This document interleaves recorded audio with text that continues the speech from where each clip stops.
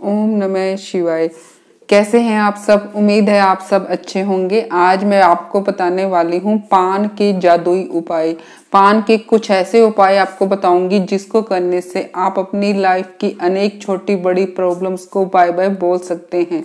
सबसे पहले मैं आपको बताना चाहूँगी कि जो आप पान का पत्ता लेंगे, वो पूरा हो, यानी कि खंडित ना हो, टूटा हुआ ना हो, कहीं से कटा फटा हुआ ना हो, उसमें कोई छेद ना हो और वो येलो कलर का ना हो, यानी कि हरे रंग का ग्रीन कलर का आपको पान का पत्ता लेना है। साइज़ जो छोटा, बड़ा, जो भी पत्ता लें, लेकिन ध्यान रखें वो पूरी तरह से साफ़ हो। अब आपको मैं पान के पत्ते के उपाय बताने जा रही हूँ। जो सबसे पहला उपाय है, वो है कर्जे की समस्या से छुटकारा पाने के लिए।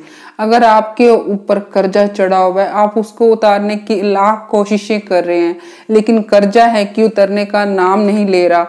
कर्जा एक बोझ होता है, मानो किसी के ऊपर जो कर्जा चढ़ा हुआ है ना, उसका किसी भी काम में मन नहीं लगता। जब तक उसका कर्जा उतरता नहीं है, वो अपनी लाइफ को ढंग से स्मूथली नहीं जी सकता। मतलब उसके ऊपर एक बोझ रहता है हरदम की कर्जा कब उतरेगा। अगर आपके सिर के ऊपर भी कर्जे का बोझ है और आप उससे जल्द से जल्द छुटकारा पाना चाहते हैं तो इसके लिए आपको एक पान का पत्ता लेना है। और उस पान के पत्ते के ऊपर आपने दो लौंग और दो छोटे इलायची रखनी है। और उस पत्ते को आपने मंगलवार को शाम के टाइम हनुमान जी को चढ़ा के आना है। उससे पहले आप उस पत्ते को फोल्ड कर लें और उसका बीड़ा बनाकर आप हनुमान जी को चढ़ा के आए। और हनुमान जी से प्रार्थना करें कि हम जो मेरा कर्जा है, उसको जल्द से जल्द उतारें। आपकी हनुमान जी ज़रूर हेल्प करेंगे। इस उपाय को आप लगातार तीन महीने हर मंगलवार को करते रहिए। आपका कर्जा जल्दी ही हनुमान जी उतारेंगे। आपका कर्जा जल्दी ही उतरने के कहीं ना कहीं से कोई ना कोई रास्ता बन ही जाएगा। अब मैं आपको बताती हूँ पान के पत्ते का दूसरा उपाय। पान के पत्ते का जो दूसरा उपाय है, वो आपके मनी फ्लो को बढ़ाने का। यानी कि अगर आपके पास पैसों का रेगुलर फ्लो नहीं है, पैसा कभी आता है, कभी नहीं आता, कभी अचानक से बहुत ज़्यादा आ जाता है और कभी बिल्कुल ही नहीं आता। यानी कि कोई आपके पास रेगुलर सोर्स नहीं है कि पैसा कैसे आए, कि पैसा इतना आएगा ही सही। या आपके पास जो पैसों की प्रॉब्लम है, वो हर दम बनी ही रहती है। तो पान के पत्ते का इतना अच्छा उपाय बताने जा रही हूँ, जिसे अगर आप कर लेते हैं तो आपके पास मनी प्रॉब्लम कभी भी नहीं फटकेगी, यानी कि मनी की प्रॉब्लम आपके पास कभी भी नहीं आएगी। इसके लिए इस उपाय को आपने फ्राइडे को करना है। शुक्ल पक्ष के किसी फ्राइडे से आप इस उपाय को करिए, और हर फ्राइडे को आप इस उपाय को लगातार करते रहिए।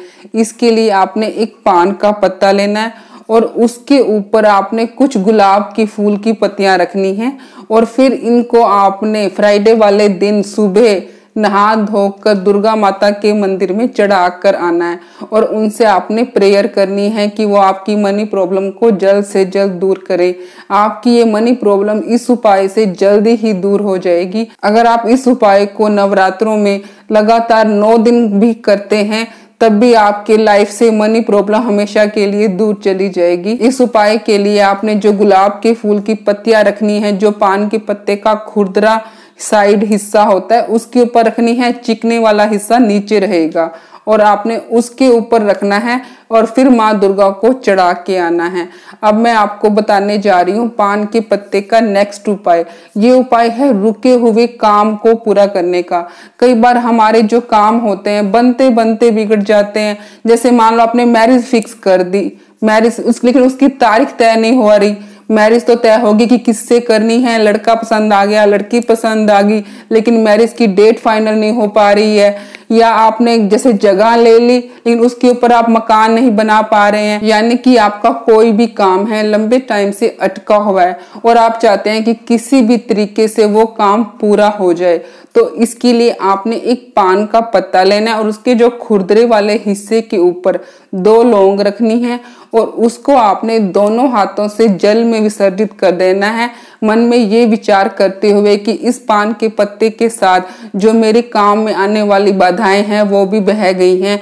यकीन मानिए, इस उपाय को करने से आपके जो काम में जो बाधा आ रही है, जो रुकावट आ रही है, वो जल्दी ही दूर हो जाएगी और आपका वो काम जल्द ही थोड़े ही समय में पूरा हो जाएगा। अब मैं आपको बताने वाली हूँ नेक्स्ट पान के पत्ते का उपाय, वो हम कर सकते हैं अच्छी हेल्थ के लिए।